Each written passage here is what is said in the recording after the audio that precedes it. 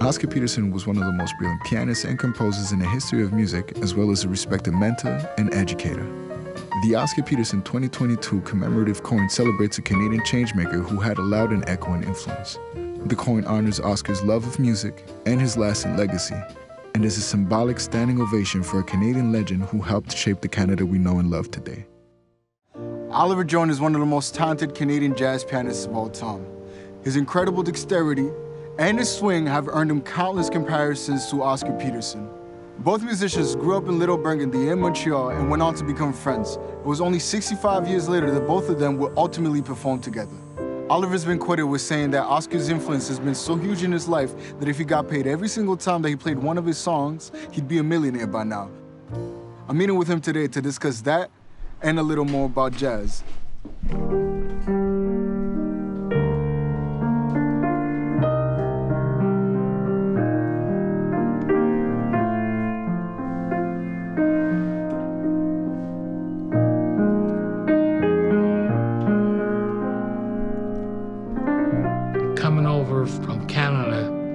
Places like Detroit and Boston and New York, all of the great musicians in the world. And uh, and thank goodness for me that Oscar had already opened up the, the door for me. Automatically, he would ask, "Hey, have you ever met uh, Oscar Peterson?" and I would tell him, "Oh yes." Uh, uh, we only lived about 12, 13 doors apart. Right.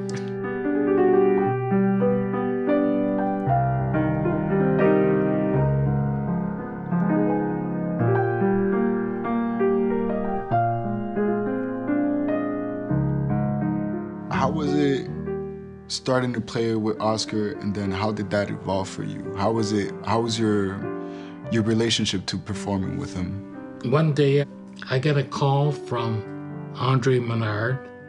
He said, by the way, we're getting ready to celebrate our 25th year of the Montreal Jazz Festival.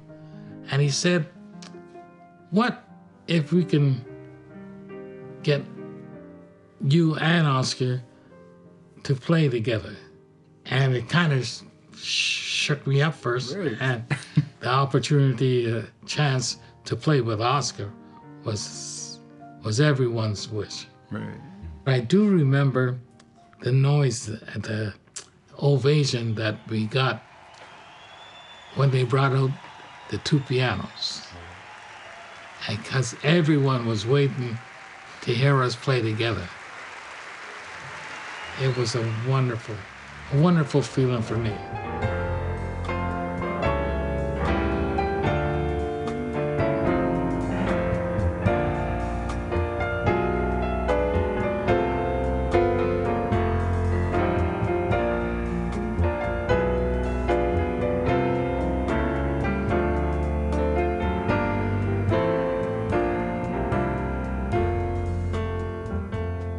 What do you think set him apart from uh, other piano players? We're from uh, an era where they were swinging. Right.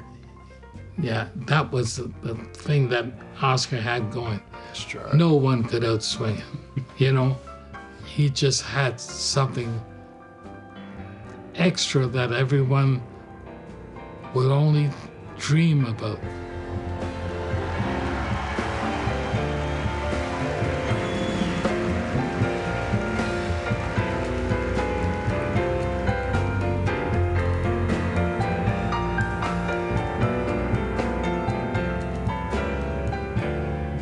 When he came on stage, everyone was at this level.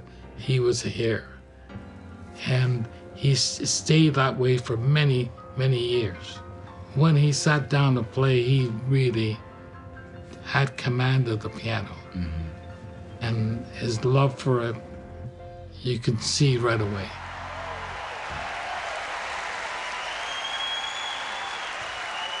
I always thought of him as a big brother and uh, definitely my mentor.